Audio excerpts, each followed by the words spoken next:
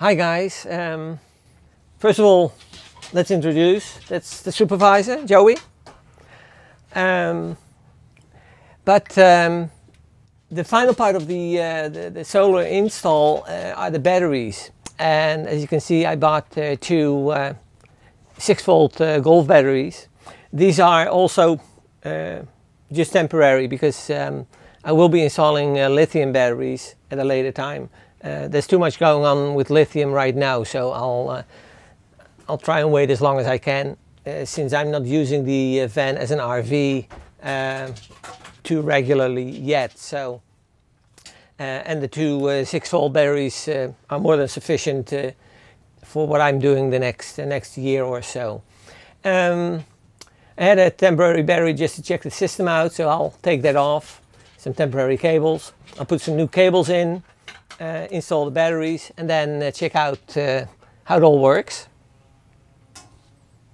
Say bye. Yeah, bye bye. okay.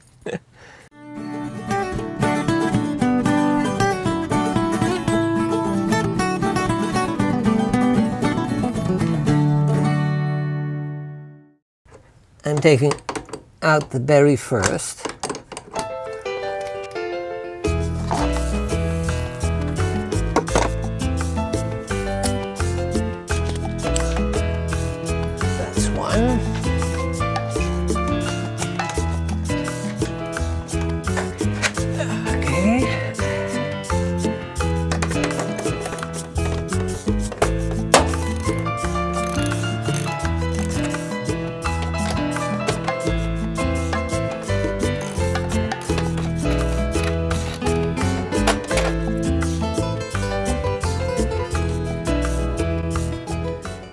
Hi Joey. Everything okay? yeah.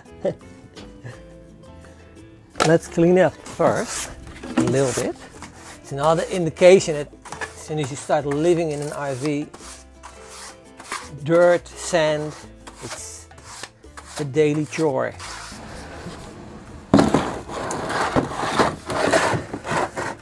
It is temporary, but This is probably the best way to do it.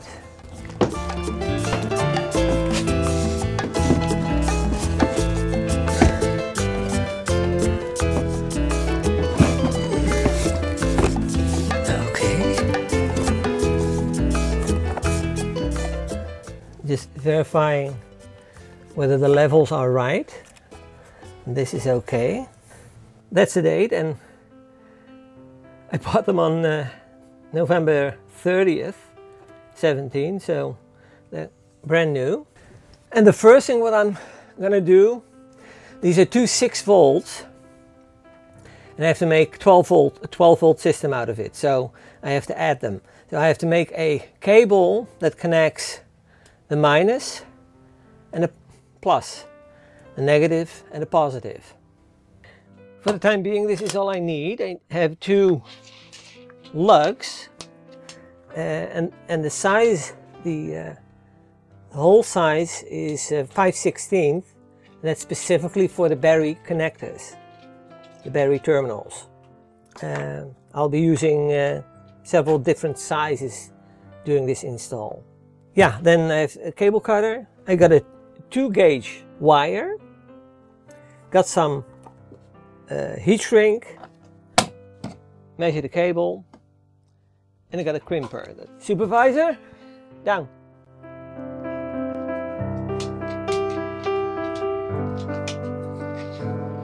Okie doke. You good guy. oh, you're such a sweet. Yeah. Start with the cable. Uh, I'm leaving a little bit of slack in it so I can at least uh, have some wiggle room later on. Okay. I will need two pieces of heat shrink, one for the positive side and one for the negative side. So, so now I got my heat shrink. Then I got my lugs.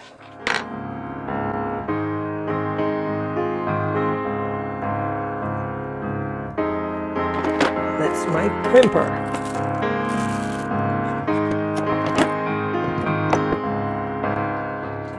Hi there. Everything okay? You want to correct me? You have any ideas on how to do that? Huh?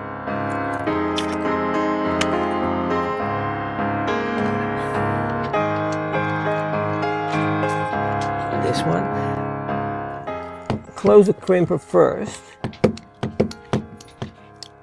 And just that much that it's just holding the log, Joey, that's down.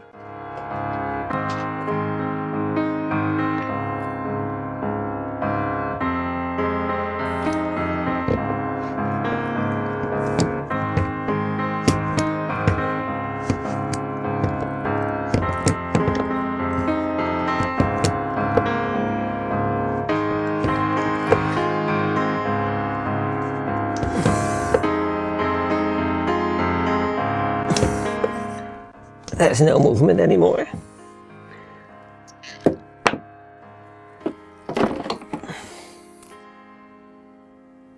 And then we'll look at the lug. And it just looks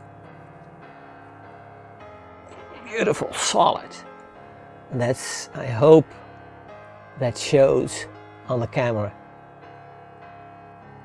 In my opinion, the biggest mistake doing installations, uh, solar installations, is that there's not enough effort made on the connections of the cables, both the lugs, the type of uh, cable as well, but certainly the connections, how well the lugs are attached to the wire.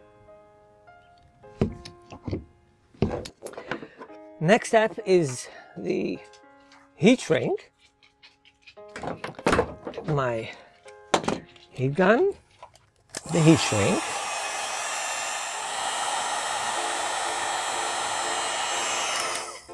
So we have to make a connection between the positive and the negative.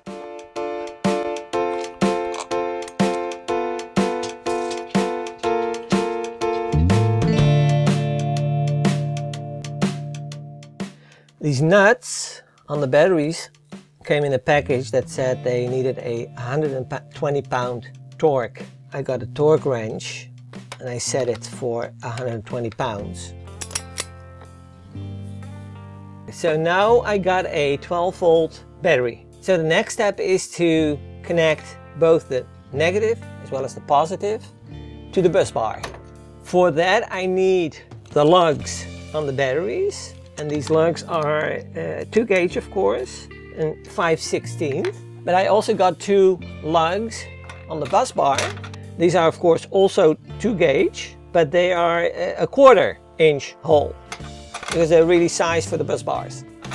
Again, this is a temporary setup, so I leave the cables a little bit longer than, uh, than absolutely necessary, so I can adjust them on the, on the final install uh, instead of buying a new cable.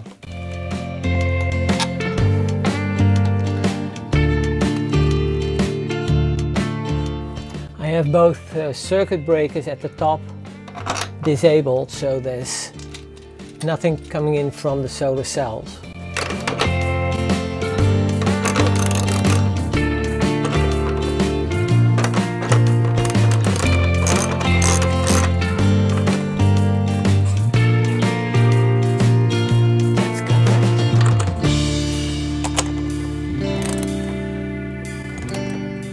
I also have to uh, fasten them to the floor so they can move in case of uh, some heavy braking or something.